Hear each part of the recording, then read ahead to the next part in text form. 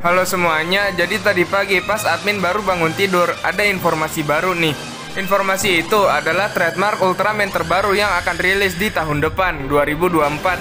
Trademark itu namanya adalah Ultraman Arc. Masih belum banyak informasi tentang Ultraman Arc ini.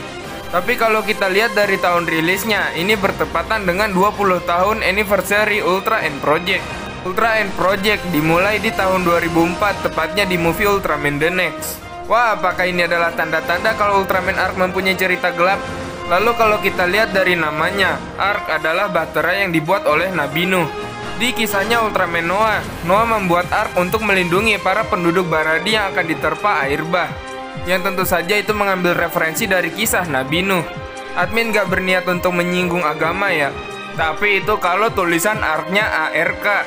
Di bahasa Inggris ada lagi bahasa ARK yang berarti busur, tulisannya ARC. Entah busur ini merujuk ke mana, mungkin ke persenjataan milik Ultraman Ark atau mungkin alat berubahnya. Katanya sih nama yang benar yang pakai C ya, dan dibaca dalam Jepangnya itu aku. Kalau admin sih berharapnya yang pakai C ya, lebih keren aja gitu. Kalau pakai angka artinya Ultraman Batera jadinya terkesan aneh. Karena bertepatan dengan 20 tahun Ultra N Project, jadinya kayaknya bakal banyak yang berharap nih series ini bakal landang. Ya tapi itu nggak ada salahnya kok. Tapi kalau kita lirik lebih jauh lagi, tahun depan juga bertepatan dengan anniversary-nya Ultraman Leo. Tepatnya yang ke-50 tahun. Nah, Ultraman Leo juga kan seriesnya Dark tuh. Mungkin makin banyak nih yang berharap Ultraman Arc bakalan Dark. Jadi Ultraman Leo dan Ultra N Project anniversary special tahun depan. Spesial karena kelipatan 5 maksudnya. Walaupun begitu, kalau kata admin sih jangan terlalu banyak berharap dulu.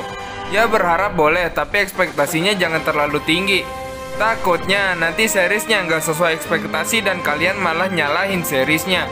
Keinget aja admin soal kejadian katanya Nexus bakal comeback di Blazar.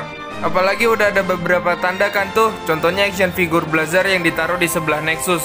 Tapi admin gak ada fotonya sih, Ya semoga saat itu tidak terlalu banyak yang berharap Nexus comeback ya. Sampai video ini dibuat, belum ada rumor atau kabar angin yang muncul tentang Ultraman Arc. Belum tahu juga nih nanti Ultraman Arc akan stand alone seperti Blazar atau enggak. Kalau admin berharapnya series Ultraman Arc ini bakalan stand alone.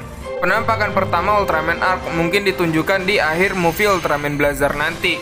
Ya seperti Ultraman kebanyakan tuh, Blazar kan kelihatan di ending movie-nya Ultraman Decker. Pastinya kita harus sabar beberapa bulan lagi.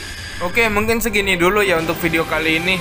Kalau kalian punya teori, pendapat, atau info terbaru, boleh banget di-share di kolom komentar. Terima kasih sudah menonton sampai di sini. Jangan lupa subscribe dan sampai jumpa di video selanjutnya.